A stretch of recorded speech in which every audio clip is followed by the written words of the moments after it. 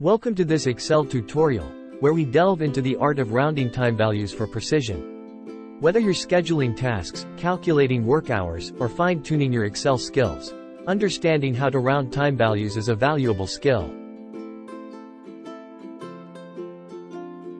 In this tutorial, we'll guide you through the steps to round time to the nearest 15 minutes using a simple formula in Excel.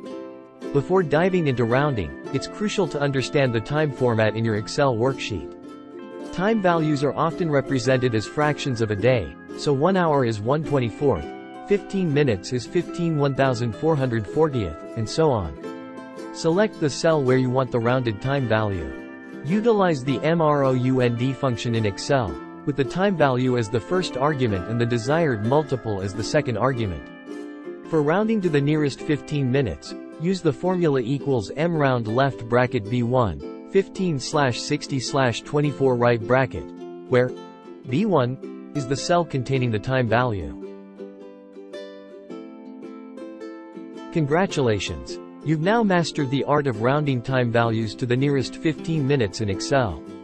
This skill is invaluable for creating precise schedules, tracking work hours, or managing any time-related data. With this technique in your toolkit, you're well prepared for time-related tasks in Excel. In the second part of our tutorial, we'll explore rounding time values to the nearest hour using a simple formula in Excel. Whether you're dealing with project timelines, employee hours, or any time-related calculations, this skill can help you maintain data precision. Let's dive into the steps.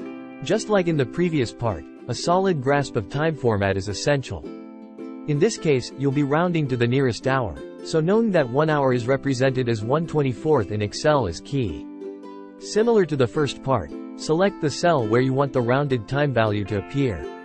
Apply the round function, this time rounding to the nearest hour. Use a formula like equals round left bracket b1 asterisks 24, 0 right bracket slash 24 to round the time value in b1 to the nearest hour. You've now expanded your Excel skills by mastering time rounding to the nearest hour.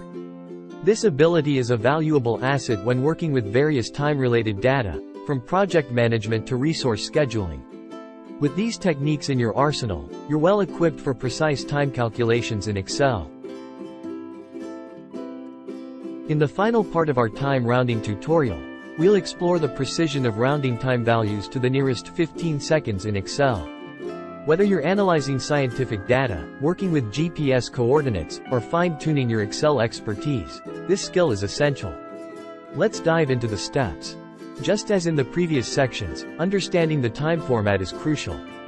In this part, we'll focus on rounding to the nearest 15 seconds, which is represented as 1586,400th in Excel.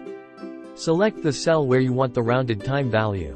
Apply the mround function, this time rounding to the nearest 15 seconds. Use a formula like equals mround left bracket b1, 15 slash 86,400 right bracket to round the time value in b1 to the nearest 15 seconds.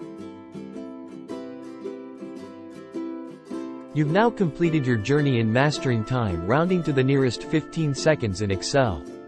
This precision is invaluable for various fields, such as scientific research or any application that requires ultra-precise time calculations. With these techniques at your disposal, you're ready to tackle time-related data with confidence and accuracy. Thanks for watching.